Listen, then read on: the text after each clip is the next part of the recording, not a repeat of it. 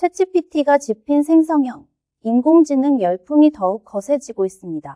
최근 구글 마이크로소프트도 생성형 인공지능 서비스를 잇따라 내놓으며 이 분야 경쟁은 더욱 치열해지고 있는데요.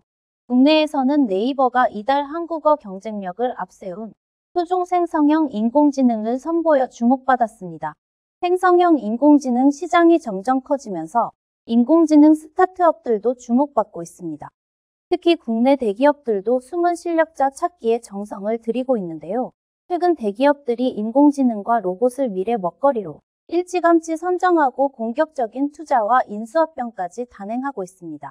이런 가운데 지난 24일 마음 AI가 판교 IT센터 소재 본사에서 인공지능과 로봇 기술이 결합한 신사옥을 공개한 날, 삼성전자와 현대엔지니어링 B2B 관련 실무자들이 신사옥을 시찰하고 해당 기술력을 체크한 것으로 프라임 경제 취재 결과 확인됐습니다. 현대 엔지니어링은 마음 AI의 AI 스페이스에 관심을 보인 것으로 알려졌습니다. AI 스페이스는 인공지능이 컨트롤하는 최첨단 오피스로 업무 환경을 최적화하고 생산성을 극대화해 비용을 절감시킨다는 특징이 있습니다. 이 밖에 안내, 반복 작업, 단순 업무들의 자동화와 온도, 조명 등의 원격 제어와 모니터링 통한 쾌적한 사무실, 환경 제공 등이 가능합니다.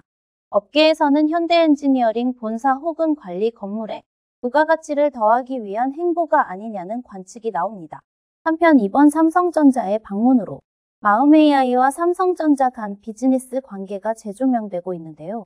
마음 AI는 최근 삼성 계열 기업 교육 전문 기업인 멀티캠퍼스와 금융 도메인 교육 관련 계약도 체결한 바 있습니다. 멀티캠퍼스는 삼성인재개발원에서 분사한 기업으로 최대 주주는 삼성 SDS입니다. 삼성 SDS는 내달 생성형 AI 서비스를 공개할 예정이기도 한데요.